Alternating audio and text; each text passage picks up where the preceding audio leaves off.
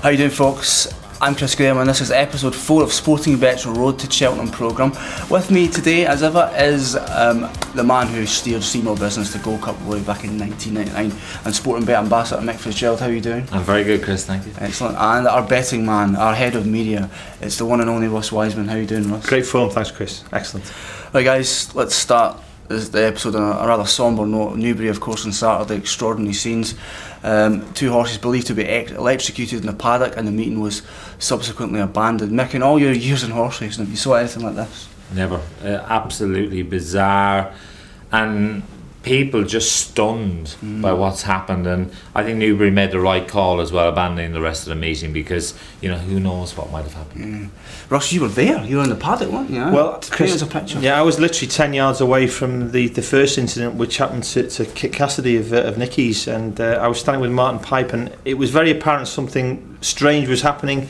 Uh, of course, now we look back on it, one of the one of the most unsavoury and uh, appalling incidents we'll ever see on a, on a race course. Anybody who was there, who witnessed it on the day, won't forget it. It'll be with them for a long time. But uh, we move on. Hopefully, uh, all the horses and all the people involved can get over what was a you know a truly awful awful Absolutely. moment. But um, you know, it was disappointing that racing had to go up. But I'm with Mickey. No choice for Newbury. They did the right thing. Absolutely. And commiserations to connections of the the, the fallen horses. Um, it seems a bit sick asking this question, but another key meeting's been abandoned here, and it really, really will have affected uh, the festival plans for the trainers. Just four weeks away at the festival, this would have messed the schedules up a bit, wouldn't it? Yeah, it does. Of course, the man that I was associated for many years, Nicky Henderson. Of course, he he plots his Cheltenham. He's got all his prep races planned out, places that he wants to run the horses, so it fits into their schedule for their fitness, and that will definitely have upset that now. And you're just still unsure about horses' targets, which races you've got to go for, and that's what all these trial races are about. Absolutely.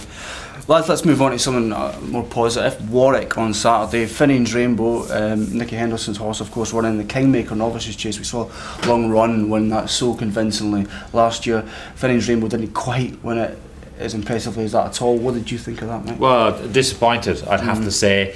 Because the only thing I would say is I was over at Leopardstown at the weekend and I saw Adrian Maguire. He used to train Finian's Rainbow, and the one thing he said to me was, I hope they're not going to mess around with him today and let him just bowl along. But there was a lot of pace in the race, and they were very mindful of that. And the thing is, trial race is all about teaching the horse to settle. That's what they were trying to do. Andrew Tinkler had a pretty tough job and he did it well. He got Finian's Rainbow to relax a little bit. But because they rode him differently, the horse was a little bit confused and he made a few mistakes on the way around it. Mm-hmm. Warwick's not the easiest course in the in the world to jump round.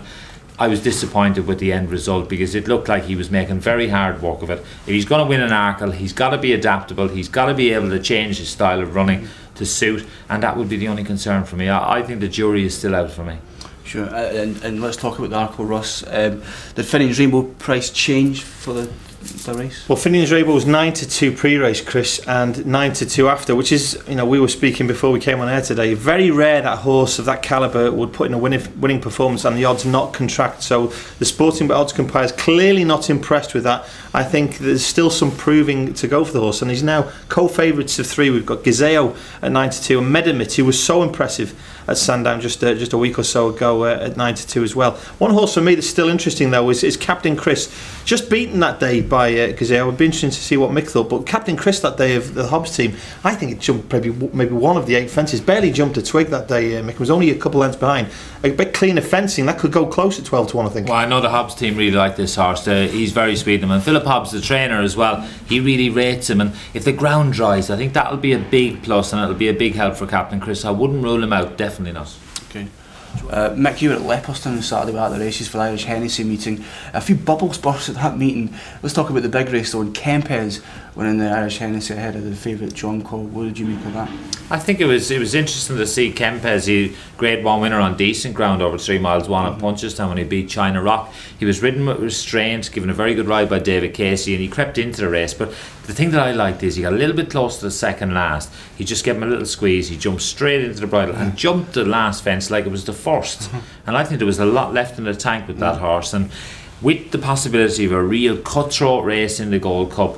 Kempes for me, he's a bit of value, and I think you know you could do a lot worse than the back him each way. Yeah, well, Mick's pretty keen on the, his Gold Cup chances. Russ, what price is Kempes for the Gold Cup? Well, Kempes now, Chris, is a 14 to 1 chance to win the Gold Cup. Uh, I think that's a fair price about uh, a horse clearly carrying those colours. That won't. Uh, need any convincing for some punters to get involved with the JP McManus cause but you know the race is panning out very nicely for me as Mick said it's got the look of a cutthroat contest tons of pace around and you've even got the likes of Kauto Star who may well get a free run in this, this race, Mick, with the, the plenty of pace involved. But at the moment, betting with Sporting with 7 to 2 favourites Imperial Commander, 6 to 1 Denman, 13 to 2 Long Run, 7 to 1 Kauto Star, and then you've got the, the, the, the other protagonists sitting in behind. I think it's a wide open race. Could be a great way to end the festival this year. Absolutely. Um, let's look ahead to the festival and the Mick's Festival tip every week. Last week he raised a few eyebrows when he tipped up Somersby in the in the Ryanair. This week we're looking at the World Hurdle. I think it's a simple question to ask you, Mick. Are you a Big Buck's man or are you a Grand Cru man? I'm a fan. I'm a Big Buck's fan. the only worry I have with, with Big Buck's is unbeaten over hurdles. His bubble's got to burst sometime. Yeah. I just hope it's not in the World Hurdle. But I'm really interested in one horse here. But the great thing about Sportingbet is in these big races, you get your money back with a non-runner. Mm. Oscar Whiskey I was very impressed with him down at Force last. He's horse that's one over two miles five at Cheltenham. He's got a lot of class. And Nicky Henderson still unsure about which race to run him in. So he could be an interesting one at a big price. As we say, sportingbet.com, non-runner no bet is a massive incentive. Sure. Russ, give us a wee summary of the World Hurdle bet. Well, at the moment, six to five on Big Buck's, Chris, and uh, we've mentioned this a couple of times now. Speaking to the odds compilers at Sportingbet, they're still keen to get this horse in the book. That's a horse they want to take on every time it runs it looks like it's going to get chinned, but it's still still to happen yet. And as Mick said, you, you're going to get a good price about a horse that's a, a proven and worthy champion. I was with David Pipe on Saturday, and uh, Grand Cru uh, is the apple of that uh, stable's eye now. They're not the power stable they used to be maybe a decade, decade ago, Mick, but that horse still uh, was so wildly impressive, wasn't it, last mm. time out at Cheltenham? And uh, 9 to 4 chance for that. Mourad, 9 to 1. And the horse that Mick mentioned there, Oscar Whiskey, 14 to 1. And as you mentioned, Mick, no runner, no bet that really does give you that extra incentive to back that horse. If it does go, you're going to get to the post at 14 to 1. That looks like a decent price. Nice one. Well, it's, it's Big Buck's for a third consecutive World Hurdle for Mick. Okay, we got loads of questions from Mick this week. My particular favourite was from Steve from Grimsby, who asked whether, after another unconvincing win over fences uh, by Punchestown on Friday, should they go back to hurdling with him in, world, uh, in the World Hurdle at the festival? He's got good form over hurdles at Cheltenham in the World Hurdle. Of course, it looked like he was going to beat Big Buck's at one stage in the World Hurdle. He's been unconvincing as a chaser. He scrambled home against Pasco the other day. Of course, Arstead suffered a wind problem in the race as well, which makes the, the win even less mm-hmm. impressive. The only thing was, it was Nicky Henderson's 2000 winner, so he'll always remember it. But it was disappointing. He's looked unconvincing as a chaser, Punchestown. Maybe the time has come for him to try hurdles again. Perhaps. That would certainly add a bit of spice to the, the World Hurdle if Punchestown's turned back up to take on Big Buck's. We're going to leave it there, guys. We're back again next week. We'll be looking back at the action from Ascot, where Pride of Dulcote is due to turn up in the Ascot Chase. So until then, we'll see you later.